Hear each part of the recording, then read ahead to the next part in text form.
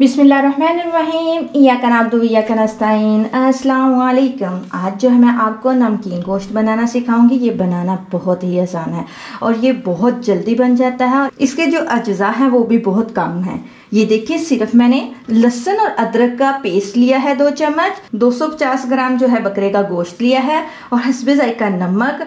और अगर आपके पास लैदा से थोड़ी चर्बी है तो आप ऑयल इस्तेमाल ना करें। लेकिन फिर भी मैं जो है दो चम्मच ऑयल जो है इस्तेमाल करूँगी और मैंने पानी लिया है 250 ml अब जो है हम बनाना शुरू करते हैं।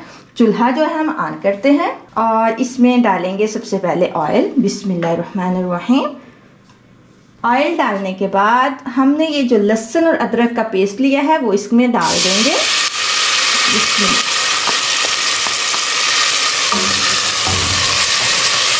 ये सिर्फ़ हम इसलिए डाल रहे हैं ताकि गोश्त की जो हमस होती है, वो ना आए। और देखिए, मैंने ये गोश्त फ्रीज किया हुआ है। ये मेरा ईद का गोश्त है। देखिए, बिल्कुल वाइट है। मैंने जो है इसको वॉश करके फ्रिज में रखा था। और ना ही इसकी स्मेल आ रही है। अब इसको हम हल्का सा जो है ब्राउन करेंगे। बिल्कुल सिंपल सी रेसिपी है। देखिए हंसबे जायका थोड़ा सा हम नमक डाल देंगे इसमें। एक से दो दिन के लिए इसकी हम बुनाई करेंगे ताकि इसका ये थोड़ा सा कलर जो है चेंज हो जाए। नमकीन गोश्त जो है, हर किसी को पसंद होता है। इसमें बिल्कुल भी मसाले नहीं है। तो गोश्त चर्बी वाला था। वो अपना ही ऑयल जो है इसमें काफ़ी छोड़ देगा। ये देखिए, गोश्त का कलर जो है चेंज हो चुका है। और जो हमारा लहसुन और अदरक का पेस्ट था, वो भी बन चुका है। अब इसमें जो है हम 250 एम पानी डाल देंगे। अब इसको हम जो है 15 मिनट वेट लगाएँगे। बिस्मिल्लाहिर्रहमानिर्रहीम 15 मिनट हो गए हैं हमारी वेट को। अब जो है इसकी गैस निकल चुकी है, अब इसको हम खोलेंगे। बिस्मिल्लाह।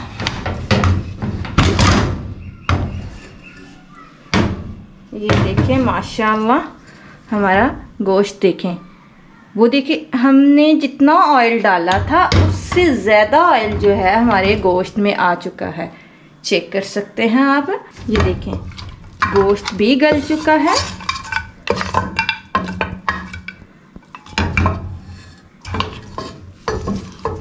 गोश्त भी हमारा, ये देखें, माशाल्लाह, किस तरह गल चुका है। तो चेक करें हमारा ऑयल इसमें पानी नहीं रहा, पानी बिल्कुल ख़त्म हो चुका है। और माशाल्लाह आप ऑयल चेक कर सकते हैं। ये देखें।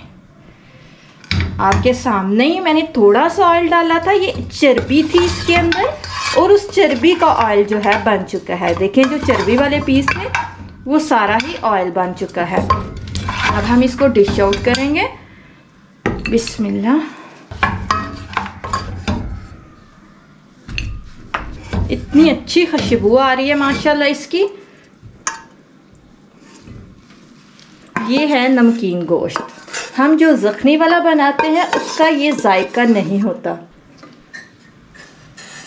आप चेक करें, ये देखें, माशाल्लाह, कितना अच्छा गल चुका है। और प्योर इसमें नमक का जायका आ रहा है। यकीन माने, जब आप बनाएँगे तो मुझे उम्मीद है कि आपको बहुत पसंद आएगा। जो पानी वाला होता है, वो जख्नी उसमें से निकल जाती है और गोश्त में बिल्कुल भी जायका नहीं होता। गोश्त पीका पीका होता है। लेकिन इस तरह आप बना के ट्राई ज़रूर करिएगा। देखिएगा कितना मज़े का होगा। और ये गोश्त तो आपके लिए बहुत थोड़ा होगा अकेले शख्स के लिए। तो अकेला शख्स भी इतना गोश्त जो है आसानी से खा सकता है। तो आप भी ऐसा नमकीन गोश्त बना के ज़रूर खाइएगा। अल्लाह हाफिज़।